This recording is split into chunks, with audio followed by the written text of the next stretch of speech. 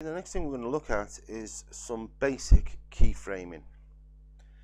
So if we zoom in to our piece of clip that we want to um, work on and our keyframing, you'll see that there's a yellow line that goes right the way through the video from the start to the finish. What we need to do is right click and at the bottom of our selection you can see a little selection that says show clip frames. Now you can have image control which you can adjust the brightness, contrast, the hue and saturation. Then there's motion which is position, scale, proportions. You can rotate your video, anchor point and anti-flicker filter. And then there's the opacity and clip opacity. Now you'll notice that there's actually a tick next to that because it's set to clip opacity. And what we're going to do is we're going to fade our video in now we can do this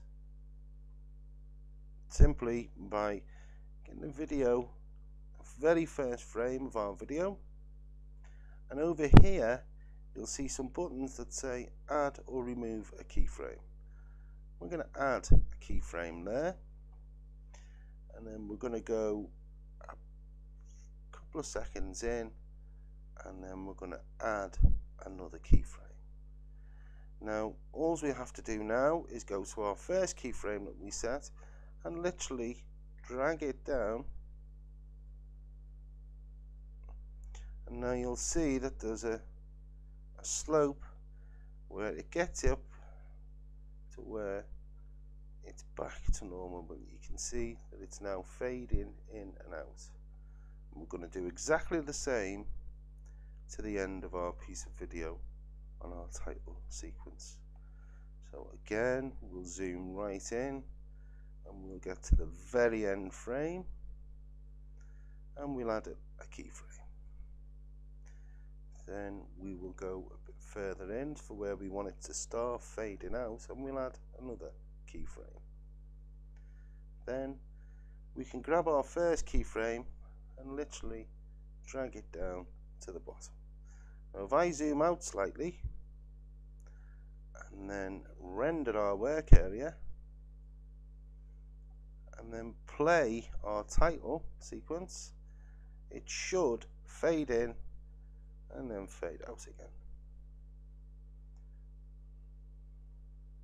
And there we go.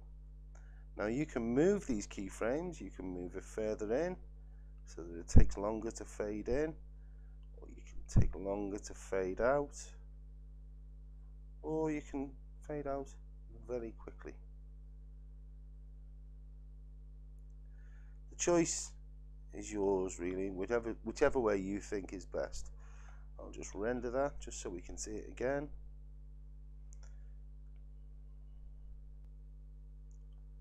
Our title sequence should fade in. Then it is and then it fades out again. Okay. The next thing we're going to do is we're going to add some more keyframes to our video as well.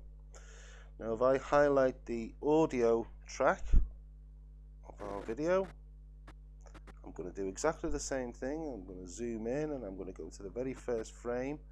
And on our audio, we're going to go show clip frames, volume, clip volume. It's already set to clip volume as a default. So what we'll do is we'll add a keyframe then we'll move in a bit more and it's just about where Heather starts to speak I think. And then we'll add another keyframe. Zoom out slightly. You can see keyframe 1. Zoom in again and you can see keyframe 2. So I zoom out slightly I'm going to drag that first keyframe and pull it right down to the bottom. And this time, Heather's Heather is going to take some time to speak as it turns out. Hello, my name is Heather and I'm an actress. I've been acting... Faded in the audio. Let's have a look at the video. What can we do with the video? We go to show clip frames again image control so we could we could go from black and white. I'm going to check I'm going to click saturation. And I'm going to go to the very first frame. I'm going to add a keyframe. And then I'm going to go much further in and add another keyframe. So now you can see one keyframe there and one keyframe there. And what we're going to do is we're going to take all the saturation out so that it starts off there's no color whatsoever. And then we get to a couple of seconds along and we've gone from black and white into color and that is keyframing our color okay what we'll now do now is we'll change the keyframe. We'll go to clip for keyframes and motion. And this time we're going to choose scale now you'll see that the yellow line a slightly different position than the previous one, but again there are no clip frames. And what we're going to do, we're going to start the video off, we'll add a keyframe, and then we'll go and add another keyframe. Now this time on this keyframe, I'm going to click on my clip and I'm going to make the clip really, really small. And go to the next one and it's back to full size. So it goes from small to full size. The important thing is, is to add a keyframe to start with and add a keyframe for where you want to finish. Now you can do this all along your video if you want. It's just that it takes time and be prepared to make the odd mistake here and there before you get it quite right. Piece of video now needs rendering. So now we'll try it and we fade in, we fade out. Hello, my name is Heather and I'm an actress. I've been acting with Jodada. And also the sound.